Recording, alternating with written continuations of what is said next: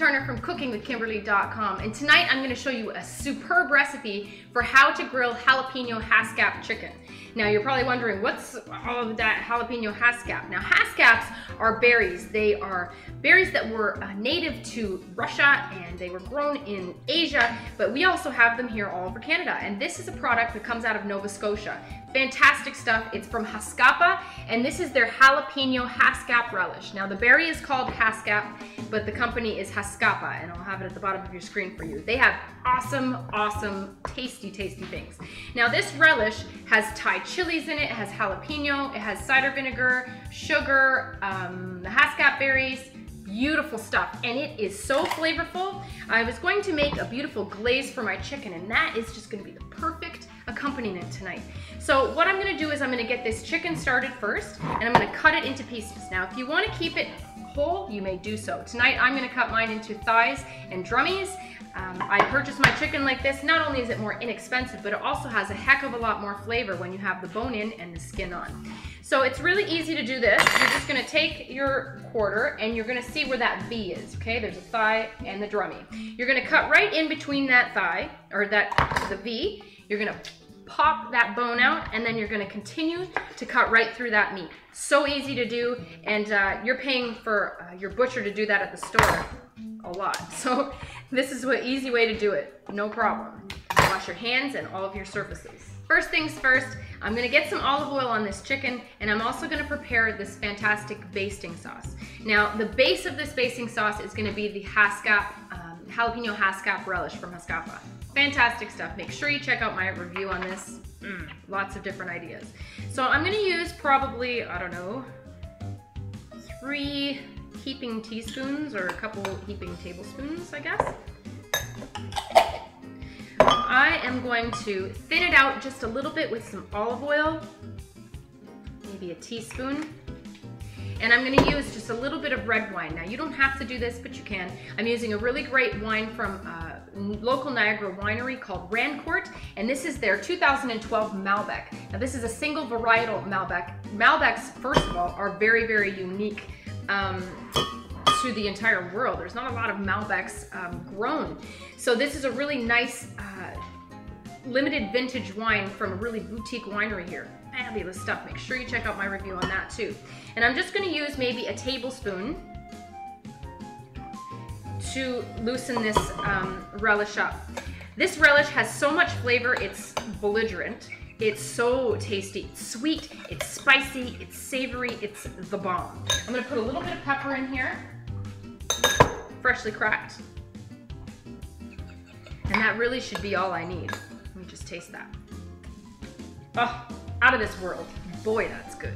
Okay, so now I'm gonna um, coat my chicken with some olive oil.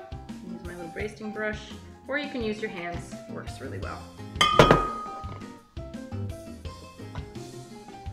Let's get some foundation of flavor. I'm just gonna put a little bit of freshly cracked pepper on this and a little bit of salt.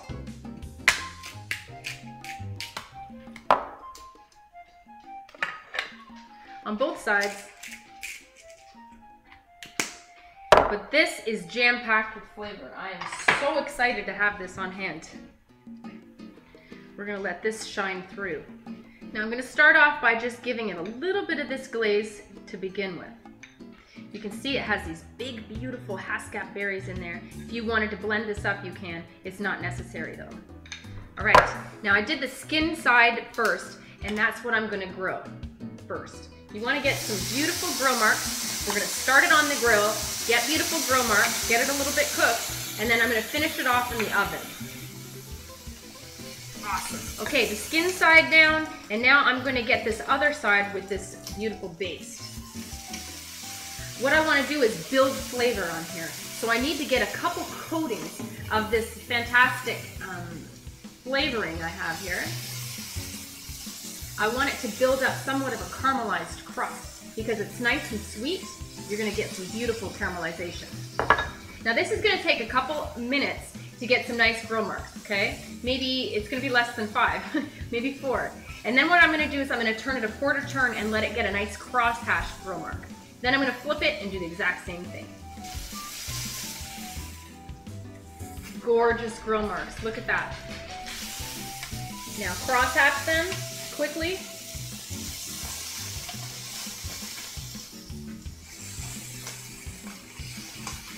It won't take but a few minutes. So I'm gonna turn my oven on 350 degrees so it can finish in there. We're gonna preheat it. I have a handy little roasting tray that I'm just putting a little bit of olive oil on the bottom. I don't want things to stick. All right, we're gonna flip this over. Gorgeous.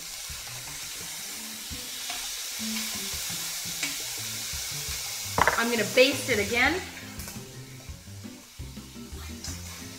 Oh, you have these whole beautiful berries in here. That's gonna be lovely. And I'm gonna put them on top of this in the oven while it's roasting. It's gonna be so good. Now, if you wanted to grill this low and slow, you can, but it'd take a whole lot longer. I don't really wanna do that. We're gonna speed this up a little bit. You could have also marinated this chicken in this, but it's unnecessary too. You can do it a number of different ways. Lots of variety and versatility here. Oh, those crosshatch grill marks look awesome. All right, I'm gonna turn it a quarter turn. Keep those berries on. Okay, these guys are ready to come off. I've got these beautiful grill marks. My oven is preheated and they're just gonna finish off in there. Now you've got that beautiful charred flavor and the look that you want. They're grilled beautifully and now we're gonna finish it up. You wanna make sure that those juices inside near the bone are running clear, no blood. Okay, so this is what they're gonna look like before I put them in. I'm gonna put just a little bit more of this relish on. Making sure that I get some of those nice berries on the chicken. Now the color on my chicken is great and I'm happy with it. So what we just want it to do is finish up with the roasting part of it, okay? With getting it cooked into the center. So I don't need any more color on it per se. That means I'm going to cover it up loosely with some um, aluminum foil. And it's gonna go in the oven. This is probably gonna take mm, 30, 35 minutes, we'll see. Now I'm gonna check this in about 20 minutes to make sure everything looks beautiful. Okay, this chicken should be done. Oh, smells so good. Boy, this looks awesome. That Haskap relish did a beautiful job of caramelizing and making a nice glaze on the top. These berries have stayed intact. They're beautiful. I can't wait to serve this. Oh.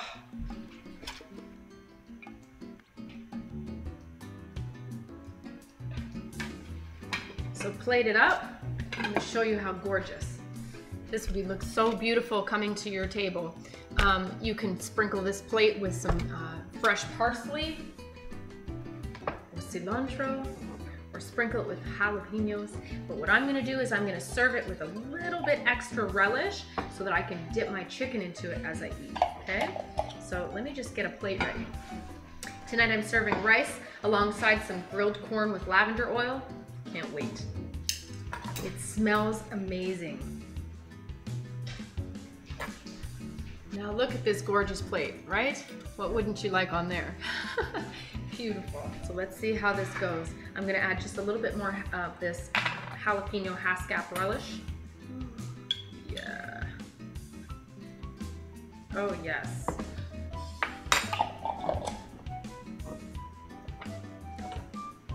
All right, I'm gonna try a little bit of this chicken.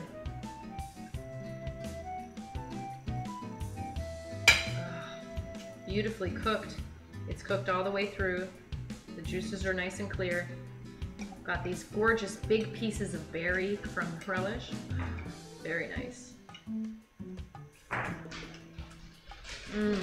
Mm-hmm. Oh. A little bit more relish on it. Mmm. The skin is good. The meat is good. Oh. Mmm. That is ridiculously good. Oh my goodness gracious. Mm -mm.